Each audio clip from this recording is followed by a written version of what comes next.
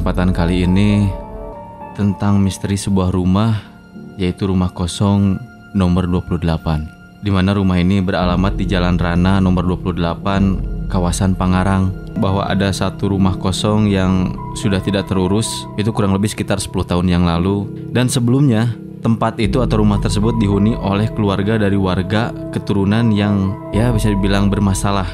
Yang sampai akhirnya mereka pindah dan sekarang tidak diketahui keberadaannya. Nah, sepeninggal dari keluarga tersebut meninggalkan rumah itu, konon katanya masyarakat sekitar sering melihat sosok atau penampakan di sekitar rumah kosong tersebut.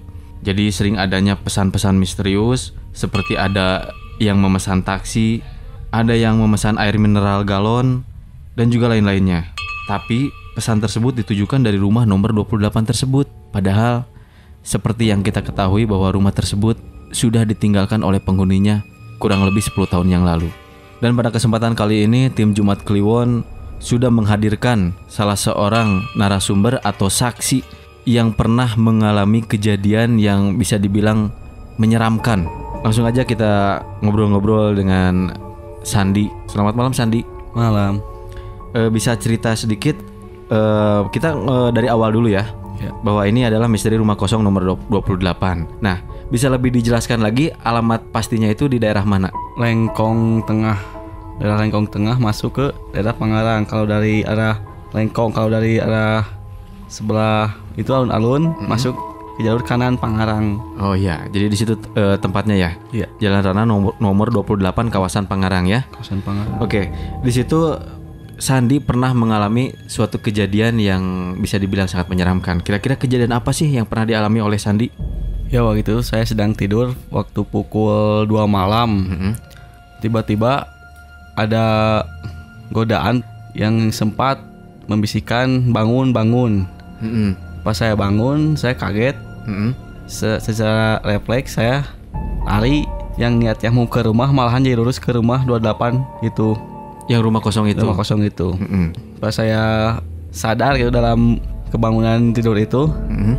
Tiba-tiba yang di pojok eh, dekat dam air kalau nggak salah itu dam air ada sesosok bayangan hitam tinggi gitu kan nah itu terus saya balik lagi dah karena kaget lihat balik lagi langsung ngelamun gitu kan karena trauma kaget gitu kan Jadi kejadiannya itu jam 10 malam. jam 2 jam 2 malam Jam 2 malam. Pada saat waktu itu kamu ada di warnet. di warnet Di warnet nggak jauh dari rumah kosong tersebut. iya Nah, ketika kamu sedang tidur, kita perjelas nih. Ketika kamu sedang tidur, kamu ada yang gangguin maksudnya gitu. iya Setelah kamu terbangun dan merasa kaget, kamu lari, lari tapi bukan lari menuju ke rumah, iya tapi justru menuju ke rumah kosong Rumah tersebut. kosong tersebut Nah, setelah masuk ke dalam rumah kosong tersebut, kamu melihat ada sosok bayangan hitam yang tinggi gede. Itu maksudnya seperti itu. iya Nah, kamu tahu tahu nggak sebenarnya sosok bayangan hitam yang tinggi gede itu apa? Kalau saya kurang tahu ya itu apa bentuknya berbentuk apa ya Bersuara nggak? Enggak, yang pasti diam gitu, berdiam. Berdiri di sudut- diam di sudut rumah di sudut itu. rumah itu. Selain pengalaman itu, kejadian-kejadian apa saja sih yang pernah terjadi di sekitar situ? Yang mungkin menurut warga sekitar ada yang bilang atau ada yang bercerita setahu Sandi.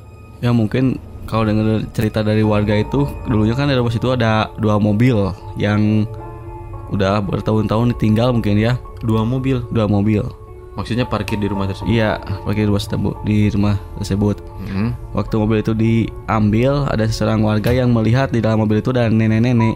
Ada nenek-nenek Iya. di dalam mobil. iya. Oke. Nah, nenek terus. Yang pertama terus sering kali itu paling eh, yang terkena tuh tukang galon taksi apa gitu. Kalau nanyain rumah 28 di mana? gitu kan. Hmm, Taunya rumah itu kan sudah kosong gitu. Iya, sudah 10 tahun ditinggalkan oleh iya iya sama kayak galon taksi itu gitu aja setiap datang nanyain rumah itu yang kosong itu Hmm. Balik lagi kita nanya tadi bahwa di salah satu mobil tersebut ada sosok nenek-nenek. iya Kira-kira tahu nggak siapa nenek-nenek tersebut? mungkin saya kurang tahu ya nenek itu siapa gitu kan karena saya Apakah itu dari golongan manusia atau mungkin bukan gitu ya? yang yang pasti bukan gitu kan Bukan dari golongan manusia. Iya. Kira-kira posisi rumah tersebut itu posisinya nih seperti apa? Tahu nggak posisinya? Apa rumahnya gede? Mungkin itu maksudnya ya. Iya. rumahnya gede atau kecil atau di dalam gang atau justru pelatarannya luas masih banyak pohon-pohon atau gimana? Coba bisa diceritakan lebih spesifik? Ya keberadaan rumah itu eh, kalau tanahnya tanahnya gede, kosong, udah kalau dibilang udah semeraut gitulah. Pinggirnya sungai. Udah tidak terurus mungkin. Iya, tidak udah tidak terurus. Di pinggirnya ada sungai. Mm. Belakang rumah itu ada pohon gede mungkin. Dan acak-acakan gitulah mungkin. Dan itu ada di tengah-tengah gang, maksudnya di dalam gang. Nge, di buntu Atau di pinggir jalan. pinggir pinggir jalan, pinggir sungai juga pas buntu gitu. Jadi itu Sob Cosmo ya, pokoknya rumah nomor 28 yang sebelahnya ada sungai dan rumahnya lumayan gede juga ya kan? Iya, gede. Mm-mm. Nah ini sebelum kita nanya-nanya lagi, Sandi, eh, saya mau nanya, kamu itu penduduk daerah situ udah lama? Sudah, sudah lama. Berarti tahu dong sejarah eh, penghuni rumah tersebut sebelum ditinggalkan? Tahu sedikit-sedikit kan. Sedikit-sedikit, nah, bisa diceritakan sedikit bahwa penghuninya itu dulu seperti apa, siapa, dan kenapa bisa meninggalkan rumah tersebut? Dulunya memang ramai di rumah itu ada banyak orang gitu kan sampai saya pun sering menginap di rumah situ gitu. Oh Waktu iya. zaman wah ramai waktu ramai-ramainya ditinggalkannya mungkin karena ya gitu Bangkrut atau gimana? bisa Dipakai tempat usaha maksudnya rumah itu? iya dijadikan tempat usaha gitu Hmm. Sampai akhirnya mengalami kebangkrutan Iya. dan akhirnya ditinggalkan. tinggalkan Oke.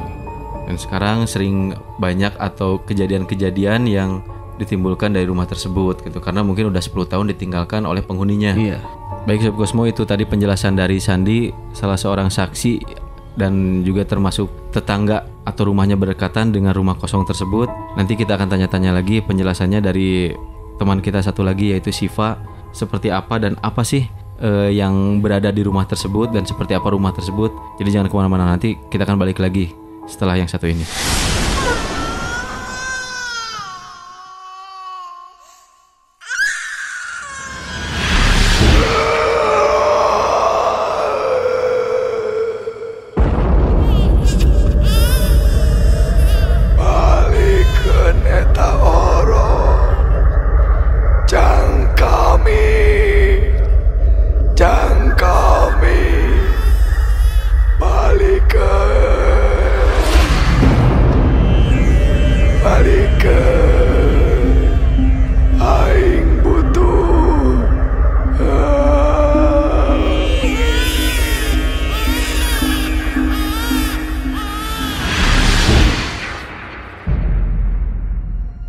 Assalamualaikum warahmatullahi wabarakatuh. Sekarang saya sedang bersama salah seorang supir taksi yang katanya pernah mengalami satu kejadian misterius, aneh di Jalan Rana nomor 28 di mana si Akang supir taksi ini mendapat eh, satu pesan aneh dari rumah Rana 28. Untuk lebih jelasnya, kita langsung aja tanya-tanya sama Akang taksi ini. Assalamualaikum, Kang. Waalaikumsalam. Akang teh cenah sauna teh pernah mengalami hiji kejadian aneh di Jalan Rana 28. Tah eta teh laras Kang.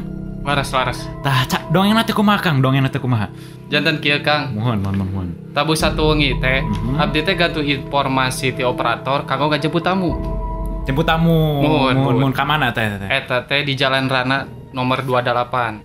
Satos kitu, abdi langsung menuju ke lokasi. Oh, langsung ke sana. Mohon. Santos abdi dugi di payun bumina Kang. mohon. Abdi ngelakson satu kali.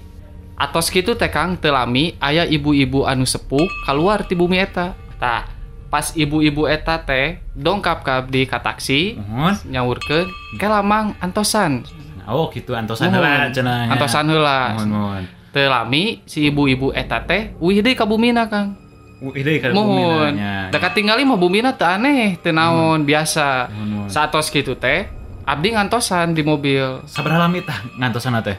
lami kang lumayan kang Sabaraha sabaraha lami? setengah jam mah aya kang Setengah jam. Mohon. Waduh, lami lami. mohon.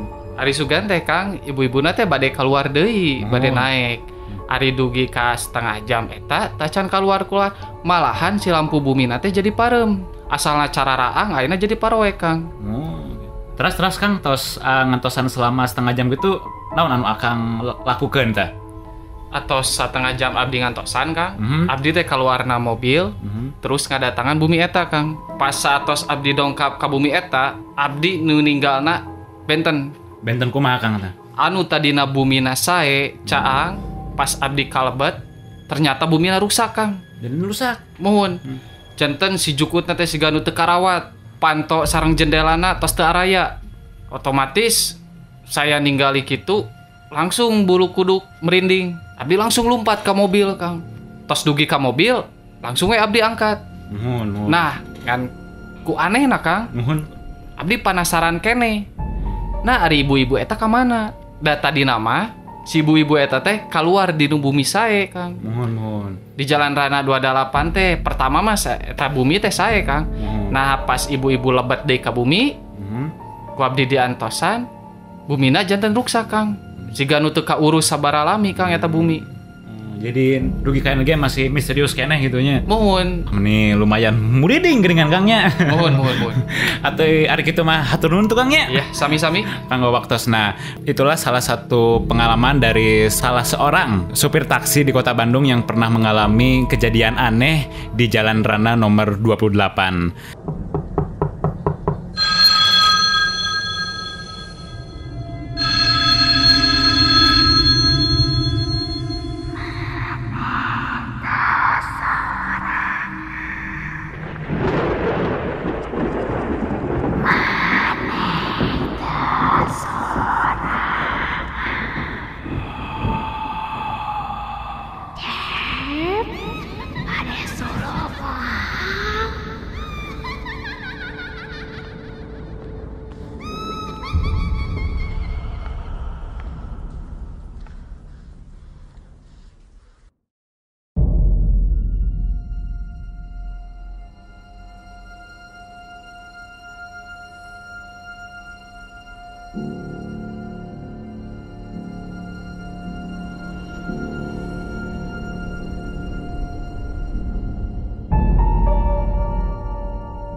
Setelah tadi kita ngobrol-ngobrol sama Sandi, yaitu salah satu eh, saksi mata yang pernah ngalamin kejadian yang aneh berkenaan dengan rumah kosong nomor 28 tepatnya di Jalan Rana nomor 28 kawasan Pangarang. Sekarang kita beralih ke Siva. Siva akan menjelaskan seperti apa dan ada apa sih di rumah tersebut. Nah, eh, selamat malam Siva. Selamat malam. Setelah tadi kita ngobrol-ngobrol panjang lebar dengan Sandi, kira-kira nih menurut pandangan Siva, apa sih yang terjadi di rumah nomor 28 tersebut? Yang seperti Sandi bilang, Mm-mm. memang benar. Di situ tuh ada sosok tinggi bes- besar warna hitam. Tinggi besar warna hitam Iya. itu apa?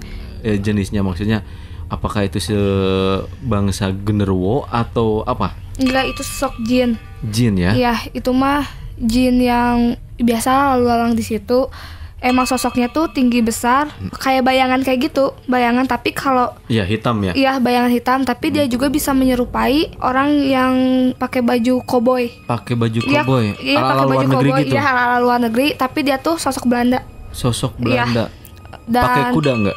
Enggak, enggak pakai kuda, tapi dia eh, bawa pistol. Bawa pistol. Iya. Oke. Kadang di situ juga terjadi kayak semacam tembak menembak kayak gitu terdengar terdengar malam-malam. Sama warga sekitar. Iya. Hmm, Terus iya. yang kedua tuh di situ teh emang ada sosok keluarga dari mulai ibu, ayah, adik sama kakak.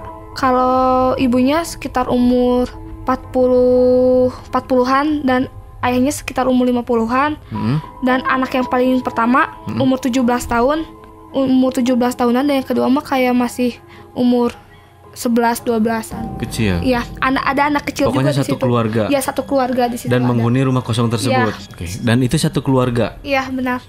Nah, kira-kira mereka itu sejarahnya seperti apa?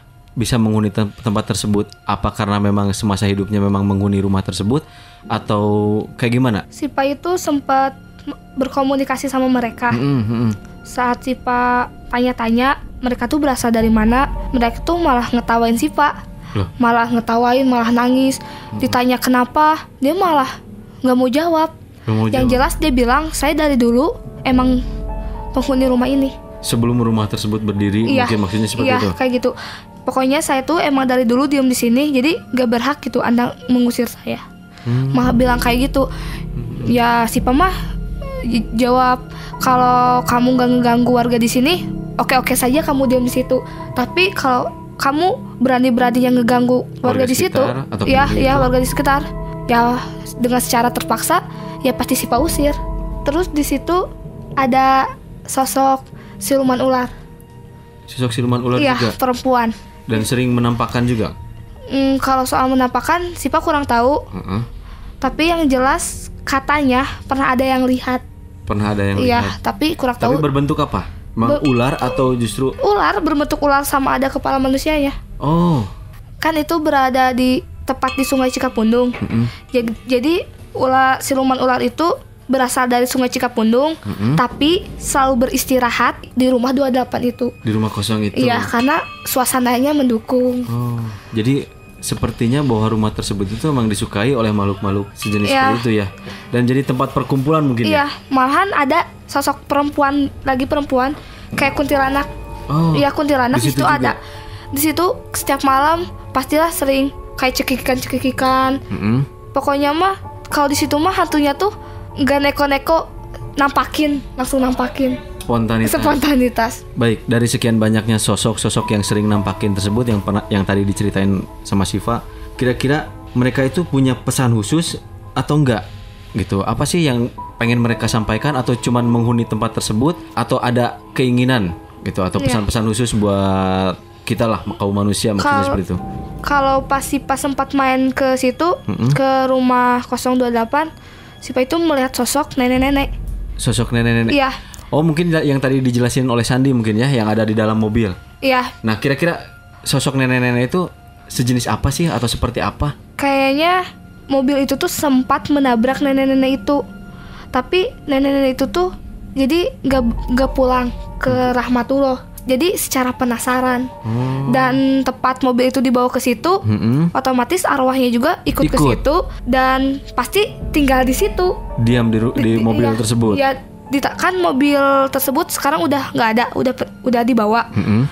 Dan sekarang si nenek-nenek itu diam di situ Oh, dan minta ke Sipa itu minta disempurnakan. minta disempurnakan. Iya, minta ya. disempurnakan kembali kayak gitu. Kalau di rumah kosong itu udah disebut angker lah sama Siva, soalnya apa pun makhluk ada di situ. Sangat banyak. Iya, Komplit dari maksudnya. ya komplit di situ mah ada pocong, kuntilanak tuh ada lah di situ mah. Tapi kira-kira itu membahayakan nggak buat warga sekitar atau ya mungkin meresahkan juga nggak buat warga sekitar?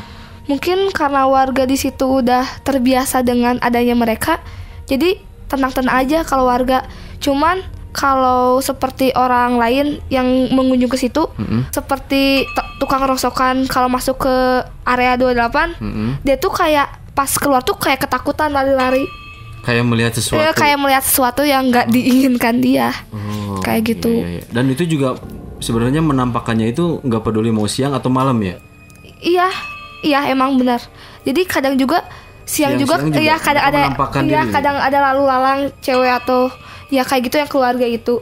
Dan yang seperti Sandi bilang kayak tukang galon, tukang taksi yang suka menelepon itu keluarganya, keluarga yang lima bersaudara itu. Yang tadi itu. Iya. Yang yang ber, satu keluarga ya, ya itu. satu keluarga itu itu suka nelpon. Cuman itu yang membuat kita nggak enak gitu. Itu yang membuat kasihan lah kayak tukang taksi, Oh, kayak iya. tukang galau tuh selalu aja ditelepon ditelepon tapi nggak ada gitu, Nah. nggak ada penghuninya. Jadi intinya mereka itu sebenarnya nggak membahayakan ya. Nggak nggak sih nggak membahayakan tergantung orangnya. Tergantung orangnya ya. Kadang-kadang orang kan ada yang Iya. penakut, ada yang pemberani Iya. juga. Atau mungkin karena sugesti juga dari awal karena tahu bahwa rumah tersebut angker ya akhirnya setiap lewat rumah tersebut pasti bawaannya ingin lari gitu ya. Penjelasan dari Siva mengenai tentang rumah kosong nomor 28 yang tepatnya itu beralamat di Jalan Rana nomor 28 kawasan Pangarang. Jadi intinya semua jangan pernah merasa terganggu oleh keberadaan mereka. Semua juga mengakui keberadaan mereka. Saya Diki Martin, kita ketemu lagi minggu depan.